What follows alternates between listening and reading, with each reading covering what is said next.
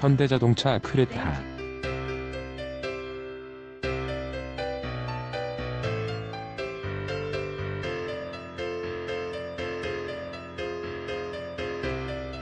현대자동차가 지난해 인도 시장에서 역대 최다 판매 기록을 세웠다.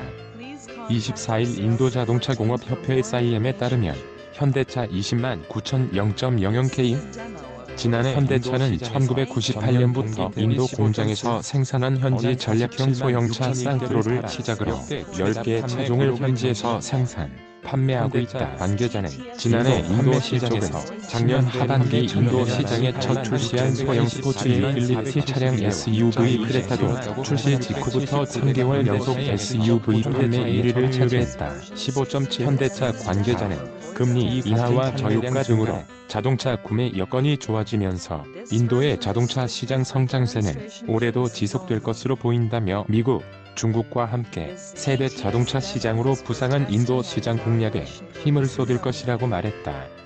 안혜원 한경닷컴 기자 ANHW at 한경.com